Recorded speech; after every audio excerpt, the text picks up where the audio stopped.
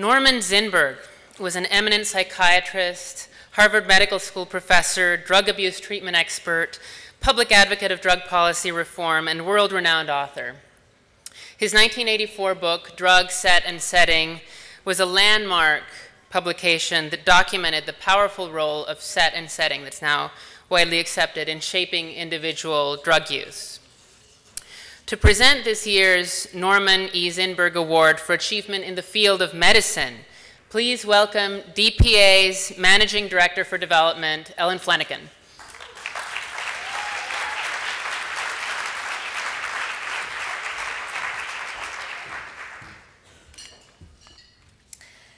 It's my great honor this evening to pay tribute to a hero, the late Dr. Jack Fishman.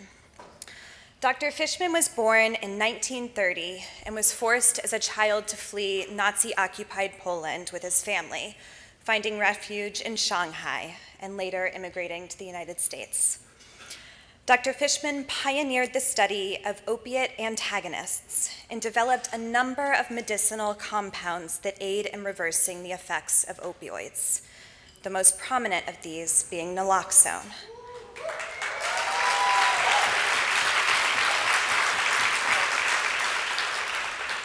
As you all obviously know, the life saving medicine now widely used throughout the United States and many countries around the world. His legacy is truly a miracle for our community and has prevented hundreds of thousands of people from dying of an opioid overdose. More than 40 years after inventing naloxone, Dr. Fishman lost his own stepson, Jonathan Stampler, to a heroin overdose. Jonathan's mother, Joy, told the Huffington Post, quote, it never even occurred to us that naloxone could save Jonathan. Back then, we didn't think of naloxone as a household item. Doctors weren't writing take-home pre prescriptions for it. It was hard for Jack to get naloxone, even though he invented it. Somehow, emerging from this immense sorrow, Joy found the strength to become a fearless advocate carrying forth the legacies of both her husband and her son, fighting for greater access to naloxone and syringes, fighting just as her husband had to breathe new life into our loved ones. So tonight, I pay tribute to another hero, Joy Fishman, who will be accepting this award on her husband's behalf. Joy, as I present this award to you, I also make a sincere promise. We will stand alongside you in this struggle, fighting to increase access to your husband's miracle drug, fighting to prevent mothers from suffering the same pain you have. Thank you, Joy, and thank you, Jack.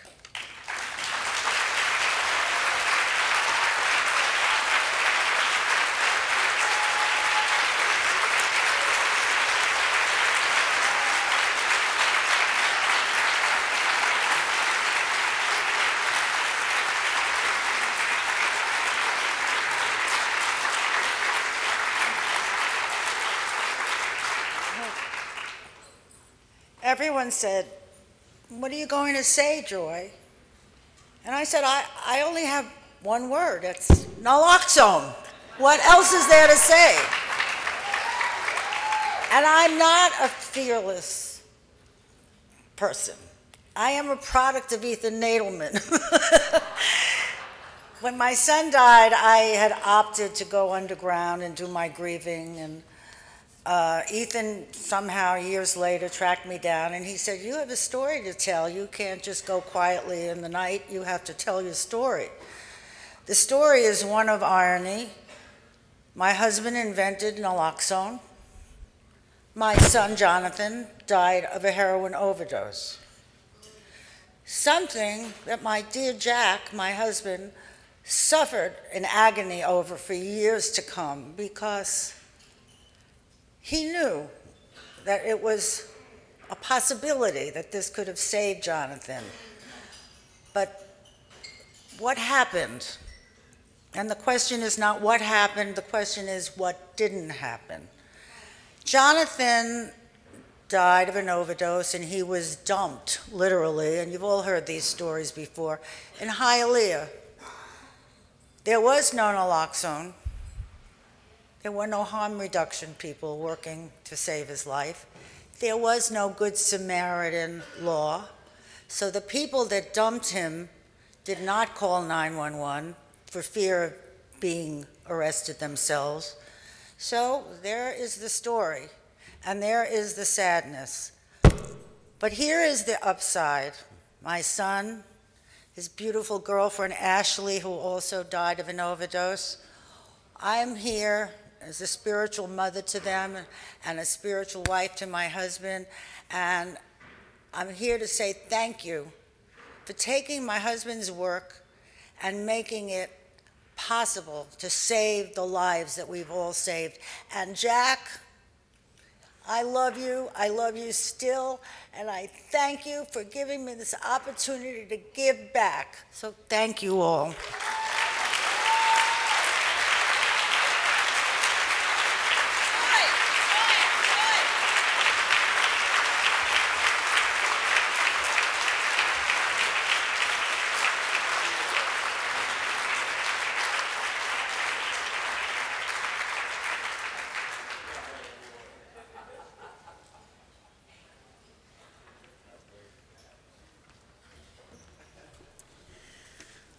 You may not be fearless, Joy, but you are brave. Thank you. Robert C. Randall was a pioneer on the issue of medical marijuana in the United States. He was a model citizen who took on the federal government and assisted defending people accused of criminal offenses involving marijuana. The Robert C. Randall Award for Achievement in the field of citizen action honor citizens who make democracy work in the difficult area of drug law and policy reform. To present this year's Robert C. Randall Award for Achievement in the Field of Citizen Action, please welcome DPA Senior Director for Grants, Partnerships, and Special Projects, Asha Bandele.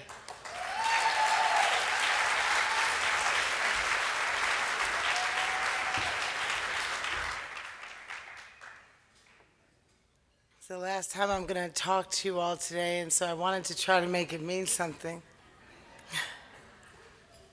so I'm going to share with you um, uh, part of the final conversation I had with one of my mentors, Dr. Maya Angelou, who died in May of 2014. And a week before her death, uh, I had a final conversation with her and what she said is, you know, something she'd said publicly, but, you know, Dr. Maya liked to lecture a lot. And she said, of all the virtues that one can possess, most important of all is the virtue of courage. That sense of courage is what binds the two people who we are here to honor tonight for the Robert C. Randall Award. We hear people speak on panels a lot, but probably don't give a lot of thought to what it means, about what it means to lay your soul bare, for the world to judge, reject, or honor. You never know what it's going to be, and it can be any one of all the three. Pastor Kenneth Glasgow and Kathie Kane-Willis embody the idea of courage. These two people who I have worked with every day, whether I wanted to or not, since 2005, have exemplified a level of courage that I just want to take you through. And I'll share this with you. With my husband in jail, there came a point where I could no longer walk into prisons. I had post traumatic stress disorder. I didn't realize it, but it was later actually diagnosed. And to think that, Kenny,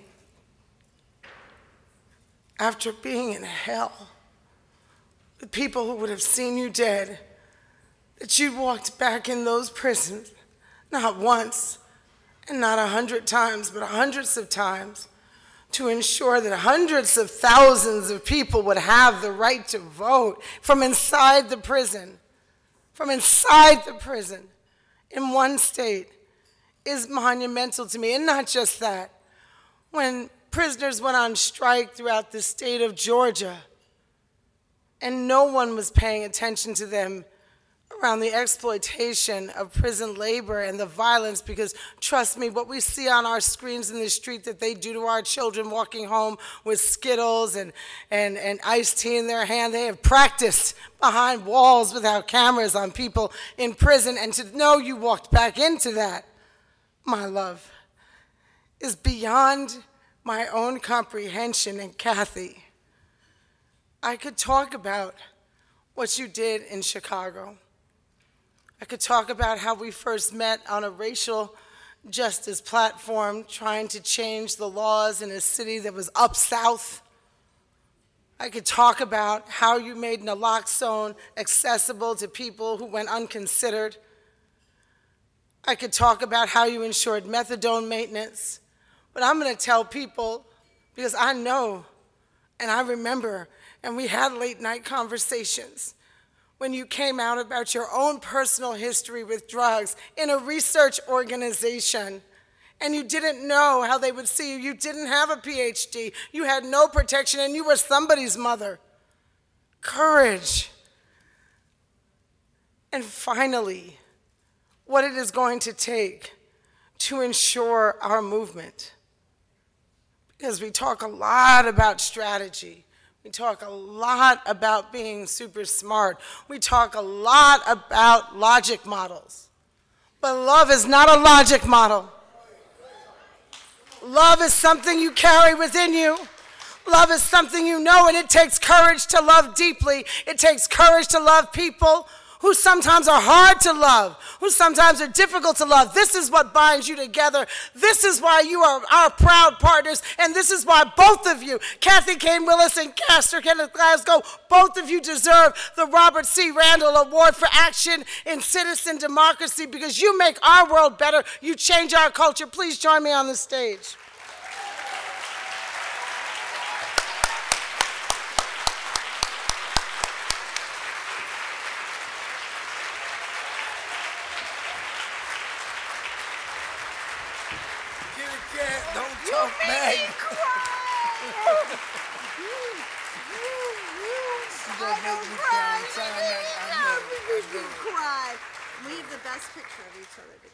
So we're gonna let beauty before age. Go ahead, Kathie. No disrespect. No disrespect. I cannot begin to express, I'm also height challenged, aside from challenged in many other ways, how much this honor means to me personally. But no one single person is responsible for acts of advocacy.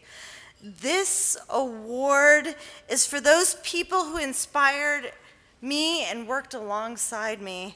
This award is for Asha, who believed in me when maybe people didn't.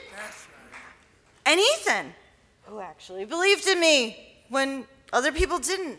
And Jenny Janitek, who probably no one knows, but she helped co-found the Illinois Consortium on Drug Policy with me. And to all the SSDPers out there who work so goddamn tirelessly, and Ville Marie, this is for you. Stephanie Schmitz-Beckler, this award is especially for you. You did so much of the work, so much behind the scenes while I stood in the spotlight. For all of those of you who stood in the spotlight but put your backs into the work, this is for you. Working alongside people who have been personally impacted by overdose and advocating for overdose prevention and criminal justice reform, civil rights, and against racial disparities has taught me so much. So many people who have worked through pain and dignity, yet with so much grace. People like Tammy Alts, who have personally dealt with overdose and still managed to make change. People like Kathy Arbini, a parent who lost her child, but when we're working on Missouri's overdose prevention laws, said, My boy would be so proud of me. He would be so proud. This community of people has taught me so much how to live through prison, how to deal with injustice, so much of how to deal with my own struggles, my living with cancer. So I thank them all for this award. I've also been thinking, because I think too much, about what it means to recover. I was once asked as a part of a government survey, survey as part of redefining recovery, what was recovery? To me, recovery is not about drugs or alcohol, it's about living a fully realized life, yeah. right? Uh, it's a fully realized life with work, with connections to people you love, and learning and growing. It's a process. And then I started to think about this more. We all, all of us, whether or not we've ever had a substance use disorder, are in recovery. We are in recovery from life. Life can be so tough, and we are all working to learn and grow and balance ourselves so that we are living the best lives we can. And honestly, this health struggle, this work has taught me something else. It's not enough to be courageous and an advocate and fight against injustice. One must also be in recovery from life, too. Learning to balance mind and work and body and spirit and rest and play and family and friends. It's probably the hardest lesson I've had to learn, especially, especially for advocates, especially for you. So, to all of those advocates out there, I wish you recovery. Mm. To everyone out there in recovery, whether from substance use disorder or from life, I say thank you. This award is for you.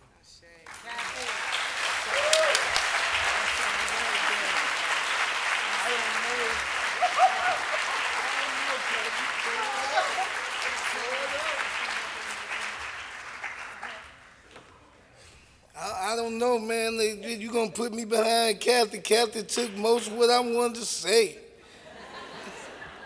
but I will say this. I'm very, very grateful to receive this award. And um, on behalf of the people that deserve it, that's sitting over there that y'all don't never see, my mother who believed in me and took $200 to get me out, even after I did 14 years in prison. Some of y'all don't realize they sent us home from prison back to county jails and city jails because we still got tickets we didn't pay, fines we had left over. And for some reason, while we're in prison, they just don't seem to act like we paying those fines at the same time. And had to pawn her car. So, Ma, this for you. And this for all of my children. This for you, TT. And your grandmother that believed in me enough to try to make me the man of the year when folks asked her, was she crazy because I'm an ex-crackhead and I'm an ex-felon, I'm an ex-this. Well, I'm an ex a whole bunch of other stuff too they don't know nothing about. but for the record, we're going to leave that one alone, amen? But this right here for you too, Stephanie. And I couldn't pay the light bills and couldn't get Asha on the phone. And Asha had to fight with the board. And Ethan was just gracious enough to say, hey, we're going to keep them going.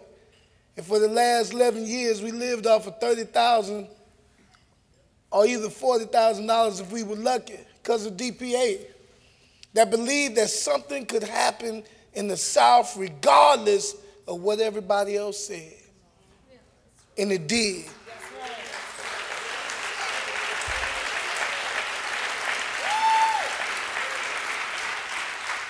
And it did. And here, 16, 17 years later, Ethan, we got 17 laws in, in Alabama passed. 15, some say 15, some papers say 13. They'll figure it out after a while. we got three laws changed in Georgia one in West Virginia, one in Florida. But all that's done by them people sitting at them tables that y'all don't never see. All that's done with Project South and Stephanie and all them when Stephanie said, let's group together and make a Southern movement because as the South goes, so goes the nation.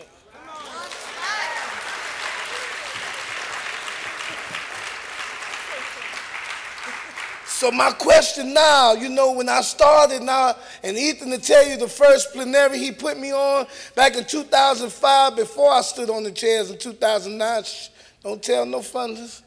But anyway, and one of the things we had was restore.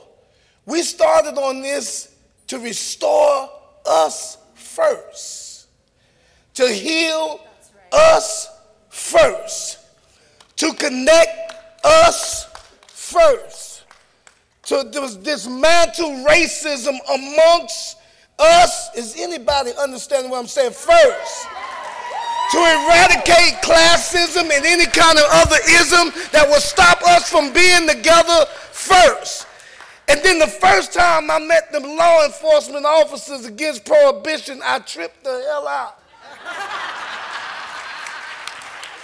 Because I'm trying to figure out that's an oxymoron that you got police that's sitting there helping us advocates fight against prohibition and they used to lock people up. And I was so scared of people like Neil Franklin, Ira Glasser. I said, I don't care what y'all say, he gonna pull out them handcuffs sooner or later. But he didn't. He came down and stood with me. And those guys over there that's in that corner, they sing Prodigal Child Project and made theme songs, All of Us or None, and theme songs, the Prodigal Child Project, and Be With Me Every Day. Those are the guys that this award for right there. That come up out of the prisons.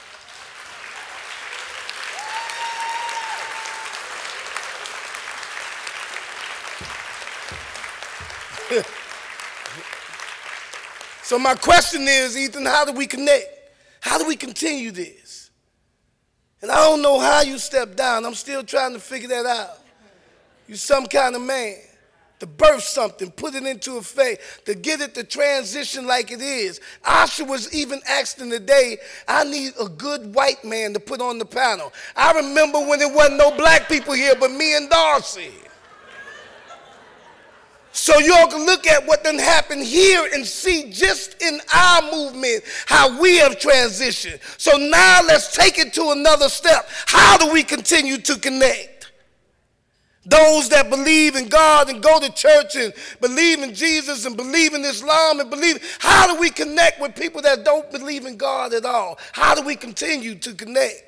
How do we continue to connect with those that are in prisons, those that are out of prisons, without seeing each other differently and allowing them to say nonviolent and, and, and, violent crimes and separate this crime from that crime? How do we continue to connect? How do we continue to connect politically and socially and economically with as equity all amongst us so that none of us are lacking and all of us are fighting with the same strength and the same power? How how do we continue to connect?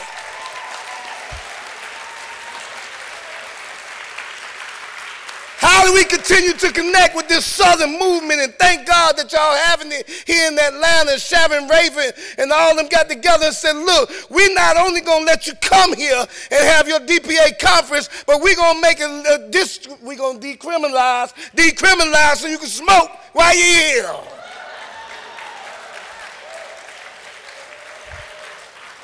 How do we connect the Southern movement with the national movement? How do we connect it in such a way when we got new funders coming into the fray, like, like Chloe and Michelle and William and all them that's changing the funding world so we no longer got to fit a criteria or fit some kind of skilled evolution that they have, but they really looking at the grassroots work and what we doing, and none of us are judging each other anymore. How do we continue to connect?